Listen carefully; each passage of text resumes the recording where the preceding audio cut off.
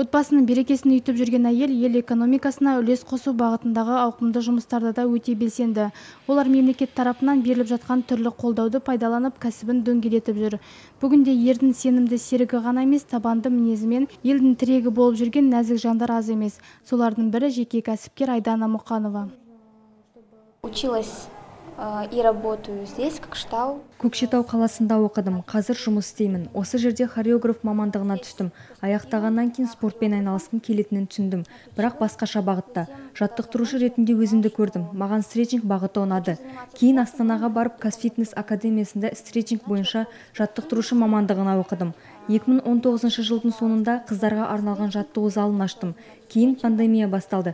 Біз бір ашылып бір жабылдық. Бірақ бұл кезеңді де еңсердік.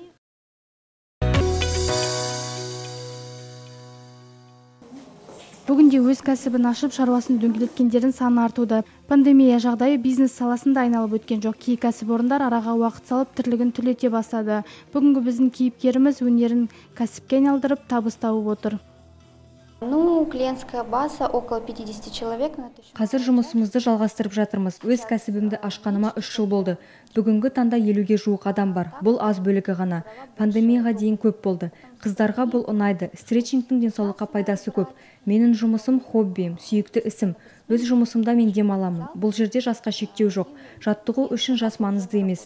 Менің алдағы мақсатым бір жерде тоқтап қалмау әрі қарай даму. Алда өзімнің жаттығу залым болғанын қалаймын. Команда жинағым келеді. Бастысы мақсат керек. Өз жалқаулығыңызды жеңе біліп қандай қиындық кездесе де тоқтамай алға ұмтылу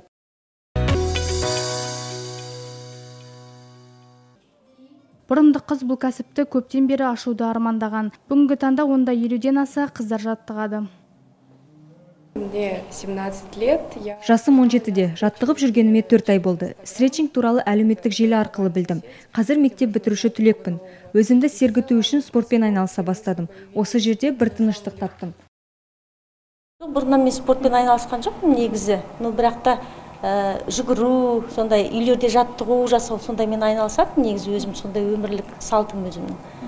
Ә, ал мұнда келгелі енді ә, сондай бір жаңа айтып өттім ғой. Өзіңді бір сондай жеңіл сезінесің жеңілдік пайда болады. Жұмыстан кейін әсіресе біз жұмыста көп жүреміз ғой.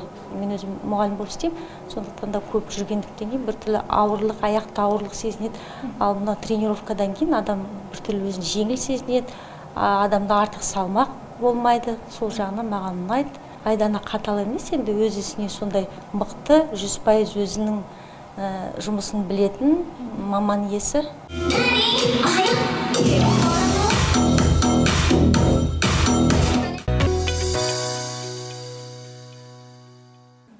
Біздің әрбір жетістігіміз әр қыздың еңбегінің нәтижесі дейді кәсіпкер. Самое главное нужно ең бірінші кезекте сізде ниет болу керек. Менің қыздарымның арасында жақсы нәтижеге жеткендер бар. Ең бірінші кезекте дене қыздыру жаттығуларын жасау керек. Бұл бұлшықеттер мен буындарды алдағы негізгі жұмысқа дайындап жарақат алу қаупін төмендетеді.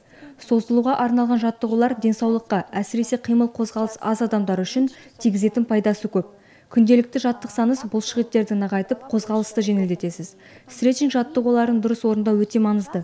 Уақыт өте келе сіз бүкіл денеңізде бұрын соңды болмаған жеңілдікті сезінесіз. Физикалық және эмоциялық тұрғыда демалуға көмектесіп күйзелісті азайтады. Кәсіпкер алдағы уақытта жеке кәсібін ұлғайтуды жоспарлап отыр.